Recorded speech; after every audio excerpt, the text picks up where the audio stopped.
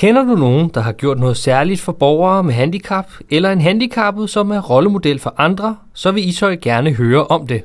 Kort fortalt, så går det faktisk ud på at uh, sige tak for indsatsen til personer, som enten har gjort noget rigtig godt for, for, for mennesker med et handicap, eller personer, som selv har et handicap, men som er et rigtig godt forbillede uh, for andre mennesker med et handicap. Um, det, det er den korte historie.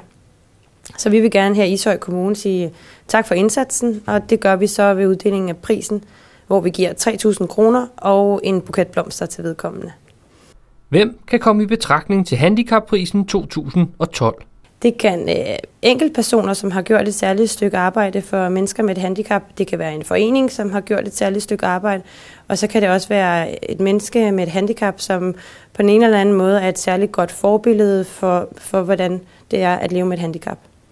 Hvordan gør man Ishøj Kommune opmærksom på, hvilken person eller forening man synes fortjener handicapprisen 2012? Man kan gøre det på to måder. Man kan sende en e-mail til mig, hvor man beskriver, hvorfor en person eller en forening har gjort sig fortjent til at modtage prisen, eller også så kan man sende en fysisk brev til mig også. Og så vil jeg sammen med øh, Handicaprådets formand og næstformand øh, sætte mig ned og kigge på de indkommende forslag, og så udvælger vi i samarbejde, hvem der skal have prisen. Du kan skrive til Handicaprådets sekretariat ved Lisbeth Halvorsen på 34737 snabelag ishøj med o i stedet for ø.dk.